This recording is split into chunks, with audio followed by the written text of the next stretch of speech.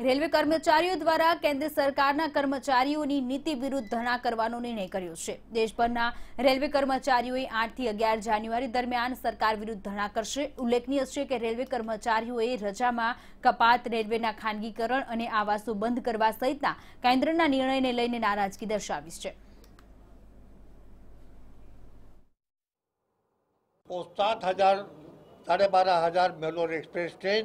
और सात हजार मालगाड़ियाँ अगर चलती हैं भारतीय रेलों में, सत्तर हज़ार किलोमीटर पे नेटवर्क पे तो इसमें सबसे बड़ा कंट्रीब्यूशन एनएफआईआर का, डॉक्टर रावैया का, हमारा और दूसरी फेडरेशन एआरएफ का है। हम चलाते हैं गाड़ियाँ,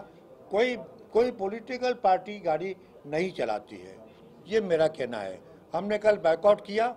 हम कल वॉकआउट कर गए, और हमने ये कहा मेंबर स्टाफ से, कि आप हमारी बात को डॉक्टर रावैया ने कहा कि आप पीयूष गोयल साहब को बता दो कि मैंने ये कहा है कि इसमें इन्होंने जो कुछ भी डिसीज़न लिए हैं संगोष्ठी में उस पर हम उनसे डिबेट करना चाहते हैं, हमसे बात करें, हम उसका जवाब देंगे।